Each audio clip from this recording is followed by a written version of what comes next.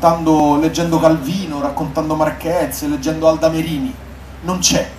Per cui se noi, se noi, questo ce lo dimentichiamo finiamo a, a pensare a qual è il cantante più famoso che c'è. Mi sembra una logica veramente sbagliata.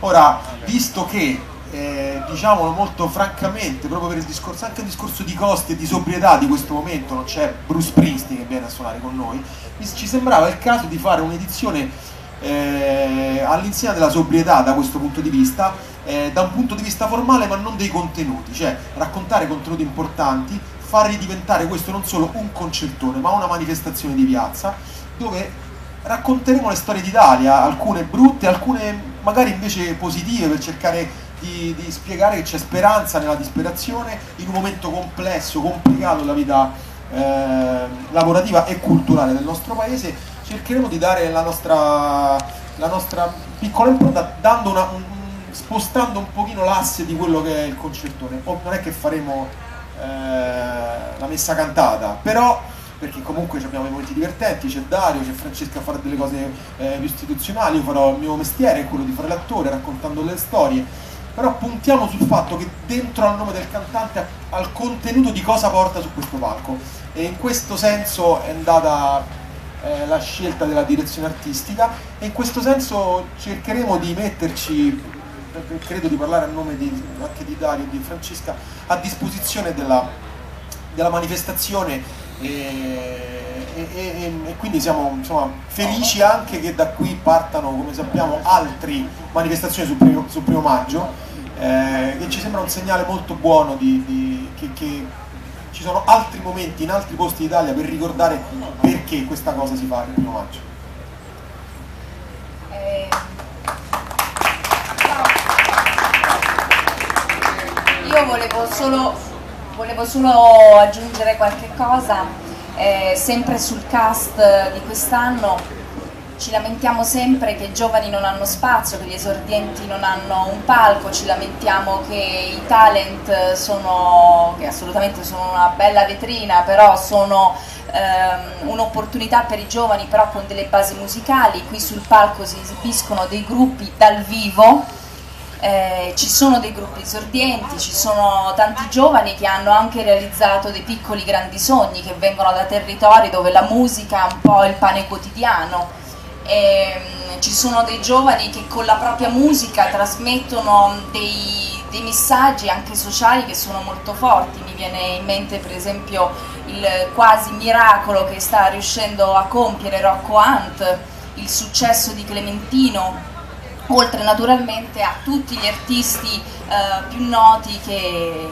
che voi conoscete. E poi ci sono anche delle storie che riescono ad essere appunto un raccordo fra la, il nostro passato, il nostro presente e il nostro futuro. Mm, vorrei soltanto mm, citarvene alcune, per esempio c'è la storia di Livia e Paolo che si sono conosciuti sul posto di lavoro e ricordiamo che questa esperienza è stata anche raccontata in un programma televisivo eh, molto riuscito che è Hotel 6 Stelle parleremo di diversità, parleremo eh, di amicizia, parleremo eh, di, di, resistenza, che è un tema molto caro a chi lotta per eh, mantenere il proprio lavoro, chi lotta per avere un lavoro. E avremo quindi, come ha già detto Edoardo, dell'omaggio al Damerini, avremo Petrini che ci racconterà come si possano realizzare dei sogni eh, con la sua mh, in questo suo progetto di costruire degli orti in Africa, 10.000, racconteremo delle storie che sono state spesso dimenticate, anche dolorose della nostra Italia, come per esempio il caso di cronaca eh, noto di Elisa Claps, eh, che sarà accompagnato da un gruppo lucano che è eh, di Potenza, che è Musica Manovella. Io vengo dalla Basilicata, da un piccolo paese e noi abbiamo sempre considerato il primo maggio, non so, l'obiettivo per chi faceva musica, anche perché avendo talmente poco suonavamo un po' tutti e cantavamo. E per noi il primo maggio questo palco era un obiettivo, eh, un obiettivo mm, che ha comunque un, un'ideologia ben precisa, quindi ci raccontava anche dove volevamo arrivare, non solo a livello musicale e noi organizzavamo questi pullman, arrivavamo a Roma eh, e consideravamo il primo maggio una festa. Eh, anche quest'anno sarà una festa, è vero all'insegna della sobrietà, ma cercheremo comunque di preservare questo elemento perché eh, non deve mancare anche quando si raccontano i problemi. C'è sempre l'altro lato della medaglia, cercherò io di fare un po' da raccordo fra queste storie la musica, cercherò di introdurre a livello anche un po' più serio alcuni interventi, alcune interviste e sono la quota rosa di questo concerto del primo maggio e le donne comunque saranno molto citate, non sono eh, invisibili sul palco, anzi sono un elemento fondamentale di quasi tutte le storie che vi racconteremo, quindi non sono, non sono assenti, ci sono anche delle attrici che contribuiranno a sostenere le storie che vi racconteremo e quindi insomma speriamo eh, di, di, riuscire anche quest'anno a, a, far sì che questo format possa essere raccontato in maniera eh, differente pur mantenendo però il, la sua anima eh, pulsante più bella che è quella proprio del concerto del primo maggio all'insegna di, di questo messaggio molto forte che è il lavoro è un diritto, un dovere ma è soprattutto un diritto.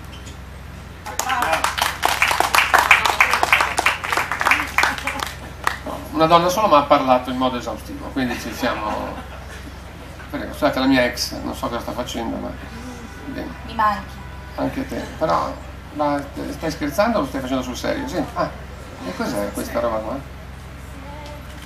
Ah, scusate, facciamo... Sono le nuove tecnologie. Ah, perfetto, si chiamano così. Io non riesco, io sono ancora... C'è il selfie anche del video, sai? Io sto guardando il porno ancora col Super 8, figuriamoci come siamo messi quello di tutto mosso. Però insomma detto questo è stato già detto tutto, il primo maggio è questo qua.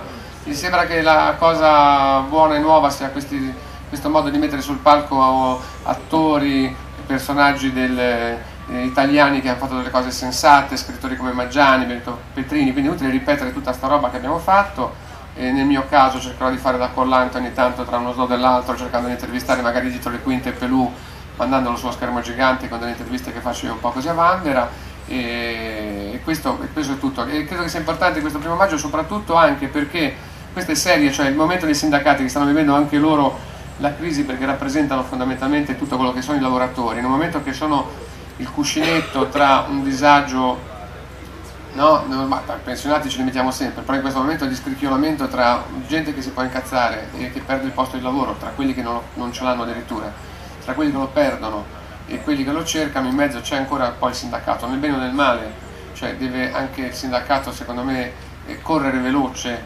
eh, in modo da essere attento eh, più che sentinella. Scusate, forse no, questo, forse, forse c'è stato un bradisismo, scusatemi in questo momento, ti comprate tenerlo in mano. C'erano anche i cavalletti quelli grandi, eh, li vendono ancora. E, e, ci sono. E vabbè, hai detto queste cazzate qua, però insomma era una cosa seria sul discorso sindacale, quindi insomma eh, devono essere secondo me sempre costantemente presenti sia con i giovani che con gli anziani che con tutti e presidiare il territorio finché, finché ce la fanno, finché poi non, non, non, salterà tutto chissà dove. È importante questo primo maggio, secondo me Godano anche lui credo che lo sappia perché eh, a livello mondiale questo primo maggio eh, di Roma intanto noi siamo qua ma siamo anche sorvegliati da quattro papi che ci guardano mentre noi stiamo dicendo le nostre stupidaggini, quindi eh, non si trova un altro posto così dove c'hai Voitila da una parte, Papa Giovanni dall'altra parte e forse anche Francesco che forse interverrà cantando qualcosa anche lui con un suo coro. Quindi detto questo salutiamo e ringraziamo, ultimo applauso e poi abbiamo anche un, un, personaggio che vi racconterà perché è qua, perché è qua con questo, questo Capuano. Fate un applauso a Capuano perché è la costante fissa ormai del, non ho preso l'applauso io per te, pensa come siamo messi. Poi dicono che i liguri sono tirchi. Eh? Vabbè, l'applauso insomma. no, no, velocemente. Eh, l'elemento che, che, a me sta caratterizzando questo primo maggio è anche la presenza di gruppi che partecipano a un contest e questo è molto interessante perché al di là dei gruppi che hanno un, premio vero perché suonare su un palco di questo tipo credo che sia un grande sogno, io lo, lo auguro veramente a chiunque suona di vivere almeno una volta un'esperienza di questo tipo perché è un'esperienza importante. però è anche la prova, soprattutto nelle adesioni che ci sono state, oltre 450, è la prova che in Italia ci sono una marea di gruppi, di, di, di esperienze artistiche disseminati nei nostri territori, nei quartieri, nei paesi che purtroppo non hanno ancora la giusta visibilità. E secondo me, eh, poiché, secondo me è un patrimonio artistico anche questa marea di gruppi che esiste, fanno parte che esprimono cose interessanti, particolari, magari in qualche cantina c'è qualche gruppo che può somigliare, che sono i nuovi Aria, che ne so, o in qualche altra parte qualche altro gruppo che... Allora... Pensavo, pensavo direttamente i nuovi angeli, in un momento. anche i nuovi angeli, perché ci sono anche i teppisti dei sogni. Ah, però dicevo, eh, e quindi è la prova che c'è una, questa è la punta di un iceberg di tanti tanti gruppi. Allora forse attraverso questo contest possiamo rivendicare che in Italia c'è bisogno di dare un pochettino più di sostegno non solo a tutto il mondo dello spettacolo ma della musica, non c'è ancora una legge sulla musica, non c'è ancora un sostegno concreto per queste esperienze così interessanti che sono le band, i gruppi, i ragazzi che, e non solo ragazzi che si organizzano e fanno della loro musica. E quindi attraverso questo contest si può anche rivendicare attraverso anche i sindacati, perché no? Perché, siamo, perché quando tu dici che lavoro fai, il musicista sì ma che lavoro fai, il musicista è la prova che probabilmente non c'è un riconoscimento anche culturale di un lavoro, che dietro al musicista poi c'è sta il fonico, c'è sta quello che fa i ponti parchi, insomma c'è un, un, un, indotto, c'è lo spacciatore, dice no, Bergasso, e quindi, e quindi è questa un po' la, eh, la, cosa che vogliamo rivendicare. Mi fermo qui, insomma, eh, buon divertimento. L'intervento ha fatto uscire il sole, vi dico solo questo. Siccome mi ha detto che non parla, però li farei chiudere Gordon, non ce la fa, è più forte di lui. Adesso ridice tutto quello che abbiamo detto al contrario, come nei dischi rock, e viene fuori Satana. Invece io mantengo quello che ho detto e, e, e chiedo anzi a Massimo Bonelli di, che, che quest'anno in modo particolare è stato, è stato il braccio operativo eh, economico-finanziario di tutta questa operazione. Vi chiedo adesso a Massimo di, gli passo subito la parola per, leggere, per leggervi la scaletta di domani, così eh, tanti particolari potranno venire fuori. Eh, vorrei dire solo una cosa, perché, mm, perché eh, l'ho detto in questi giorni e non sempre è stata colta fino in fondo. Cioè, noi siamo convintamente eh, e decisamente a favore di un moltiplicarsi di piazze, di concertoni, di feste del primo maggio. In Italia non esiste una statistica che ci dice esattamente quello che succede, da quello che so io sono centinaia se non migliaia le feste che si svolgono domani in tutti nei piccoli, piccolissimi paesi, medi, grandi, più o meno coperti o raccontati dai media, sicuramente dai media locali uno per tutto l'ho detto, Edoardo Bennato che avevo invitato due giorni prima, oggi ho scoperto, mi sono ricordato dove era, sta a Capannori che è, una, che è un importante paese della Versilia, provincia di Lucca, ma ce ne sono altre decine e centinaia. Sino a che questi appuntamenti cresceranno, si moltiplicheranno, attireranno artisti e pubblico, noi siamo contenti perché non conosciamo crisi. Questo concertone negli ultimi anni, basta che voi vedete guardate che cosa succede e che cosa succedeva negli anni passati, negli ultimi tre quarti d'ora, dove normalmente la piazza si svuotava visibilmente e dove invece negli ultimi anni, negli ultimi anni la piazza è colma, totalmente colma fino a mezzanotte e anche dopo. Quindi questo qui è la nostra gioia perché ci sentiamo eredi, non, non, non, eredi di un patrimonio di CGL Cis de Will che sono 25 anni, che ha 25 anni di storia. Ne siamo orgogliosi, chi mi conosce sa che su queste cose io mi infermo perché ci credo per davvero, perché sono anni che mi batto e mi smazzo perché succedono determinate cose, ecco, non voglio- non vogliamo né essere trascinati perché noi siamo strafelici di quello che sta succedendo in giro, non abbiamo nessun tipo di, di problema e quindi lo affrontiamo con totale serenità, anzi facendo il tifo, proprio perché ci sia, quindi questo qui ci tenevo. Massimo. Sta.